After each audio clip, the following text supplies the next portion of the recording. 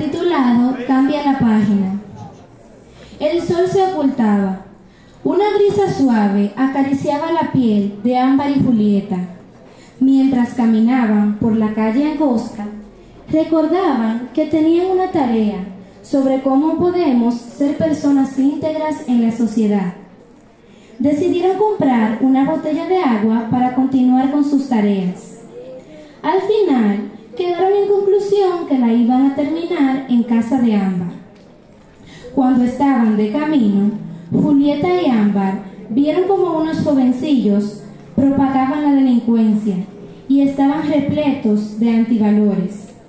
Pero Julieta se sorprendió al ver cómo Ámbar les dio un consejo a estos jóvenes para que transformaran sus vidas. Julieta, aún confundida de la acción que hizo Ámbar, le dijo, ¿por qué te preocupas por la sociedad de hoy día?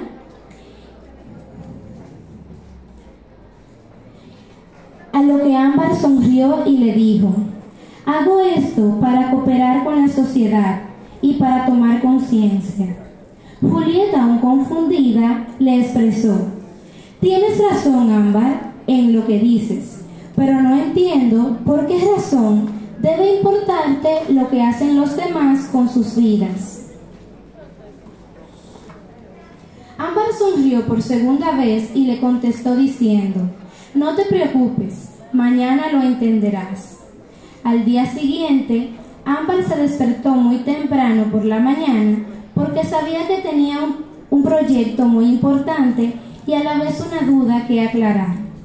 Cuando llegó al salón de clases, la maestra Lucía preguntó que quién había hecho el trabajo. Todos fueron y presentaron sus trabajos. Cuando fue el turno de Ámbar,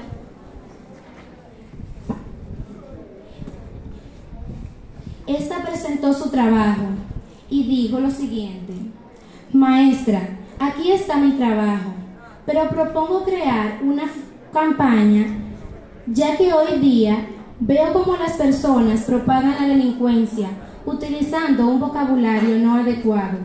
Me tomé el atrevimiento de venir y hacer conciencia de una vez por todas. Veo cómo las calles están llenas de violencia y delitos.